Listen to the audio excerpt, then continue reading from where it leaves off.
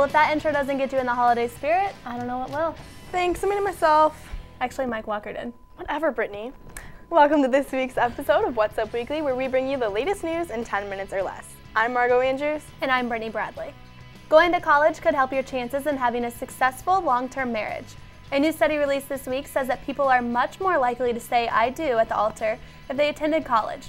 The study suggests that those with higher educations are more committed and willing to enter a long term relationship than those with less schooling. A report on attitudes toward marriage called The State of Our Unions said that people who went to college were more adaptable to a pro marriage lifestyle. The study found that women with only a high school diploma opted out of looking for a lifelong companion and were rather focused on living the single life. So, this is good news for us, right? I mean, Yeah. higher educations, we have better chances of finding someone. Brittany Bradley double majors in telecom and MRS. I'm a pretty good candidate. Perfect. the Bush tax cuts have been extended, but what will happen to the death tax? Without any action from Congress, the estate tax will rise from 0 to 55% on the first of the year. Also, the exempted amount will slip back to $1 million. President Obama and congressional Democrats do not consider the death tax a high priority, but according to a November Gallup poll, many Americans do. 56% of Americans think that keeping the estate tax from increasing significantly is very important, while only 17% believe it's not too important. Though the tax may seem like a good way to raise money for the government, in 2009 it earned barely 1% of all federal revenue. So, I know absolutely nothing about this, so I'm not even going to comment. I'm just going to move on and talk about stuff I actually do know about. Okay. Everyone's favorite set of Mean Girls, the Plastics, are returning to stir up even more drama in high school the second time around.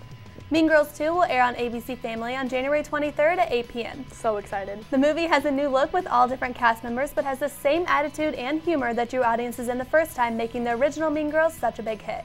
The story has a unique twist with the new girl at the school who befriends an outcast to create a social group called the Anti Plastics. How original.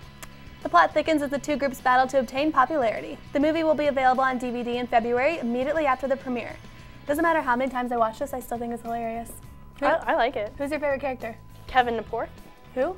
Kevin Gnapoor, the guy, you know, the rapper, he's like, oh, you sucker MCs got nothing on me, and my brains, my ways, you can't touch Kevin G, I'm a mathlete, the nerd Okay, okay. you- Ten minutes or less. Ten minutes or less. Let's give that.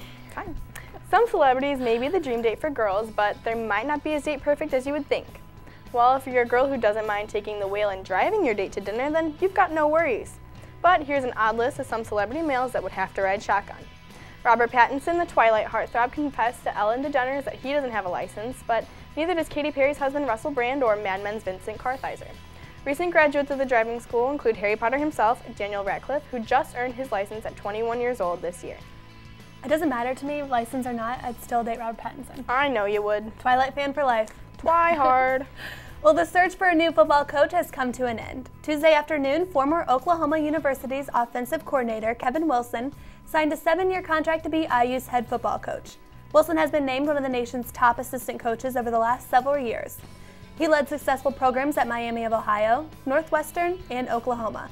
IU Athletic Director Fred Glass says his leadership, vision, confidence, teaching, commitment, discipline, and toughness herald a terrific new era of Indiana football. The school agreed to pay Wilson 1.2 million per year over the next seven years. I'll tell you one thing, he better be good because we now have a seven-year contract with him.